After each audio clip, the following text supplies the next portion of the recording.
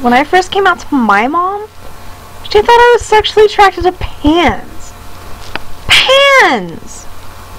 After I explained myself, she thought I was confused and making up pansexuality. She didn't think I'd looked it all up for myself, you know? She patted my hand and told me I just hadn't found the right man for me. It's been six months. She still asks if I have a boyfriend and has forbidden me from dating my girlfriend. My dad doesn't even talk to me anymore. It's hard because people who see me with my girlfriend, Sammy, think I'm gay. Others who hear about my ex-boyfriend think I'm straight. And then don't get me started on the teacher who thought my dad raped me. So I was gravitating towards women or something. And then what was interesting was when I had a transgender partner. Talk about a real headache with the school counselor.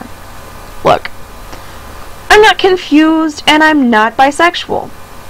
I do not care about gender or looks, so much as personality.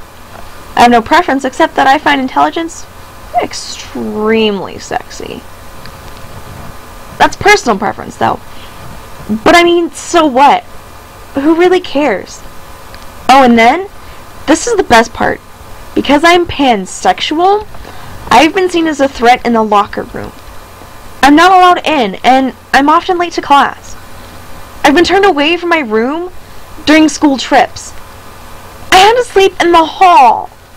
Do you know how hard that is? Not to mention dangerous?